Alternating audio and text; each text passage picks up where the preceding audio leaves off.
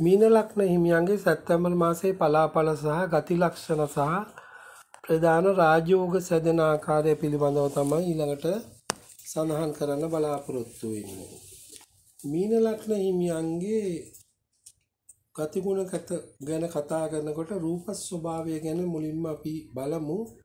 කුඩා අත්තපය ආදී අවයන්ගෙන් යුත් මිටි තරබාරු ශරීරයක් තියෙන උරහිස් පටු උකුල ප්‍රදේශය පළල් බබලන ඇස්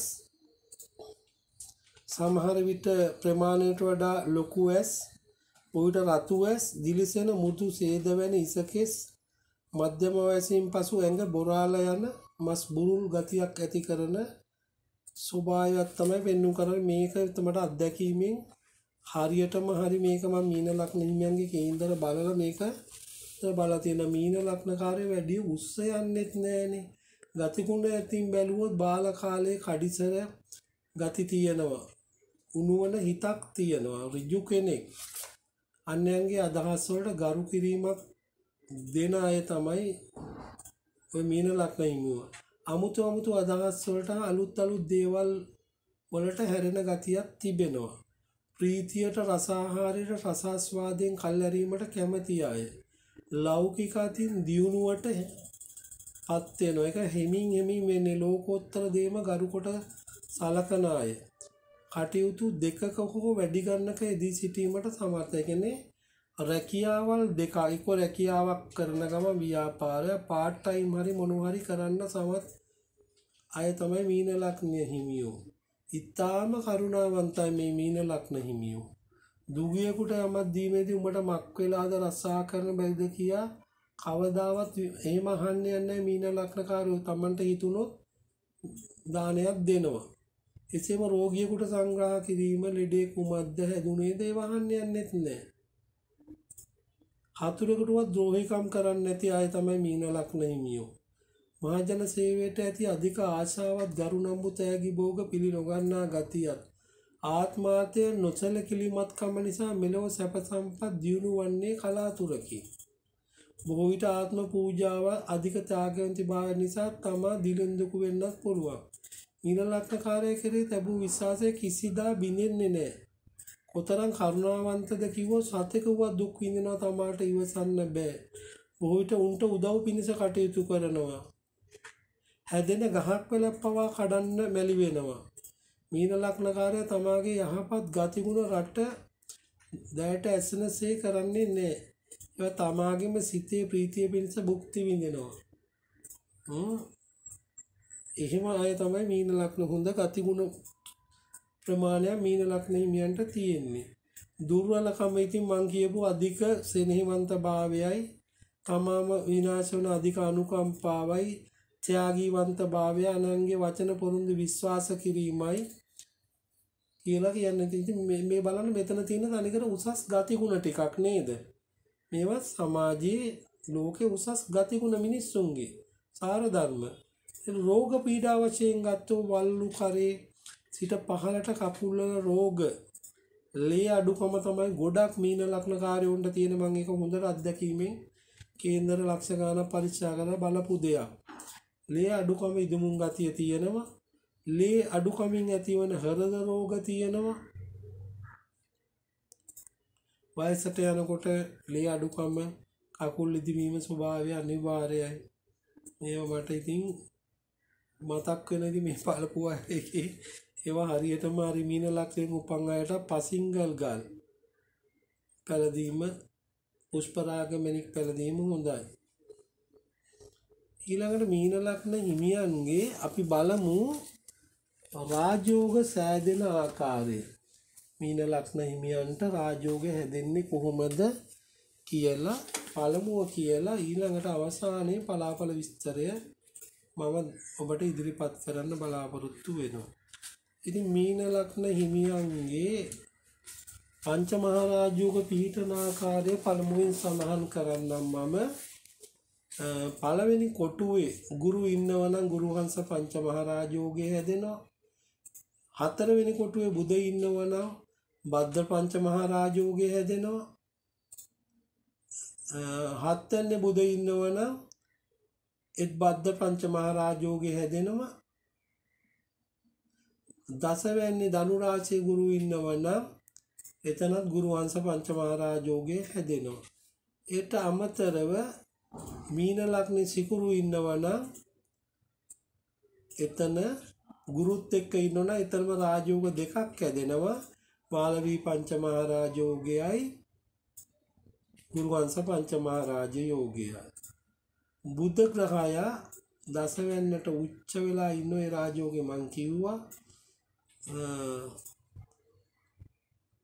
කන්‍යා රාශිය. ඒ උච්ච බලයෙන් හැදෙන්නේ මෙතන ත්‍රිකුරු තමයි උච්ච බලයෙන් හැදෙන්නේ. සක්ෂේෂ්ඨ බලයෙන් අපි ගත්තනේ බුධ ග්‍රහයගේ தත්ත්ව විග්‍රහ කරානේ. නීච භංග රාජෝගයක් හැදෙන්න නම් නීච ග්‍රහය සමග උච්ච ග්‍රහයේ තැන්පත් වෙලා ඉන්න ඕන. රාශි වල මෙන්න මේ ආකාරයට බුධ සිකුරු ලග්නේ රවි ශනි දෙවැන්නේ කුජගුරු තුන්වැන්නේ බුධ සිකුරු හත්වැන්නේ රවි ශනි අටවැන්නේ කුජගුරු 11 වැන්නේ තැන්පත් වීම තුළ නීච භංග රාජෝගය මීන ලග්න හිමියන්ට සෑදෙනවා. ඒක ඔබාමට ඇමරිකා හිටපු ජනාධිපතිවරයෙකුට මේක තිබ්බා කියලා මං කියලා තියෙනවා. විපරිත රාජෝගයේ පැන නගින්නේ 6 8 12 කියන දුෂ්ට ස්ථානාධිපතියෝ. ඒ රාශි තුනේ මොන විදියට හරි තුන් දෙනෙක්ම එක රාශියක හරි දෙන්නෙක් එක රාශියක තව එක්කෙනෙක් තව රාශියක මොන විදියට හරි මේ තුන් දෙනා රාවි සිකුරු ශනි කියන ග්‍රහය තුන් දෙනා ඉන්නවනම් ඒ ග්‍රහ පීඨීම යෙදෙනවා මේ කේන්දරේ.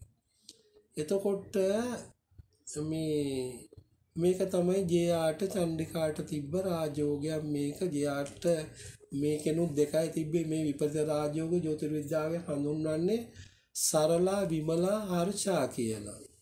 එතකොට මේට අමතරව ප්‍රධානම රාජෝගය තමයි ලක්නාදී යෝගය. ලක්නාදී යෝගයක් ඇතිවෙන ආකාරය බලමු අපි ඔබේ කේන්දරයේ 6 7 8 යන රාශි තුනේ මොන විදියකට හරි එක් තනි තනි හරි තුන් දෙනාම එක රාශියනේ මොන විදියට හිටියත් එතන යෙදෙනවා ලක්න අධියෝගය කියන එක එක ඉතාම බලගත යෝගයක් ඒ යෝගෙ තියෙන අයට රජෙක් රජෙක් සමාන කෙනෙක් අගමැතිවරේ රාජ්‍යනායකයෙක් ජනාධිපතිවරේ ඇති ඇමති කෙනෙක් මන්ත්‍රීවරේ ගමක ප්‍රධානයෙක් වීමේ වාග්ය සහිතයි. ඉතින් ඒක ඉතින් හරි වැදගත්කමක් තියෙනවා එහෙම බැලුවම. විවිධ රාජෝ ජයාර 77 න්ද කොයි ජනාධිපති උනේ? තාතේ මේ මේ ජූලි මාසේ තිබ්බ මහමැතිවරණයෙන් ජනාධිපති උන 78 හදපු විවස්ථායෙන්ම ඒකාධිපති බලයෙන්ම විවස්ථායෙන්ම විධායක ජනාධිපති වෙච්ච පළමු ජනාධිපතිවරයාද කොද ලෝකෙ? ජයා ඉතින් ජයා කිව්වා යාට ගෑනිය මිනිහෙක් කරන්නයි මිනිහෙක් ගෑනියෙක් කරන්න විතරයි කියලා යාගේ ඒකාධිපති ව්‍යවස්ථාව අනුව. එහෙම ඒවා එහෙම ව්‍යවස්ථාවක් තිබිලත් මේ රට දියුණු කරන්න බැරනවා මේ පත් වෙච්ච එකම නායකයෙකුටවත්. ඒකට නම් හේතුව බුද්ධිමත් භාවය ප්‍රඥා විඥානය අඩුකම තමයි. ඉතින් මෙන්න මොනවා කියන්න. ඉතින් මේ ලග්නාදියෝගයට අමතරව ඡන්දයෙන් 6 7 8 බුදුගුරු සිකුරු තැම්පත් වෙනවා නම් එතනනුත් ඡන්දාදියෝ කියලා යෝගය අපැන නැගෙනවා. ඒ ලග්නාදියෝග නැත්තම් ඒ යෝගය තමයි ඊළඟට ඒ ප්‍රධාන යෝගයට අපි ගණන් ගන්න. එක මහින්ද රාජපක්ෂර තිබ්බා. මහින්දගේ කන්‍යාලක්නේ ඡන්දය හිටියේ අටවැන්නේ. එතකොට මහින්දගේ ගුරු ලක්නේ හිටියා. සිකුරු දෙවැන්නේට තුන්වැන්නේ බුද හිටියා. එතකොට හරිනේ 6 7 8 පිළිවෙලට ඒ තුන් දෙනා හිටියා.